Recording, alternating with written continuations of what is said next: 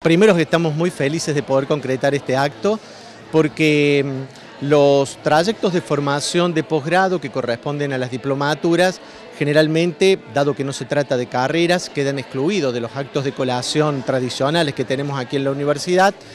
Y mm, dada la magnitud de certificados que teníamos, que habíamos firmado correspondientes a distintas diplomaturas de la facultad, surgió la idea de reconocer a los egresados de estos tramos, de estos trayectos de formación de posgrado, eh, mediante la formalización de un acto como el que vamos a desarrollar en, instantes, que, que, en algún punto también significa un reconocimiento al trabajo, no solo de quienes egresan, sino también de quienes acondicionaron las propuestas para hacerlo.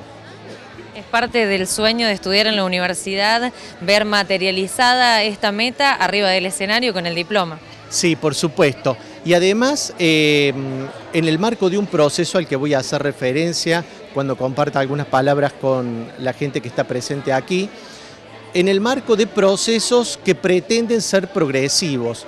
Eh, la diplomatura es una excelente iniciativa de la universidad pública para pensar eh, el paso inicial, el paso originario en términos de formación de posgrado.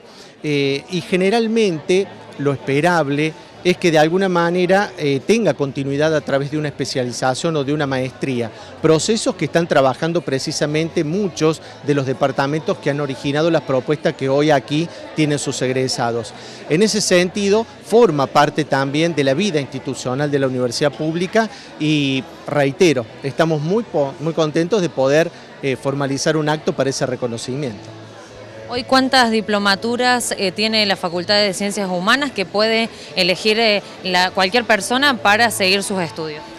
Hacia la finalización del año 2019 únicamente tenemos en curso, la, tenemos la diplomatura en Derechos Humanos y eh, algunos tramos que van quedando de otras diplomaturas, pero ya son los últimos, digamos, hubo una corte, una nueva corte de diplomatura en Derechos Humanos.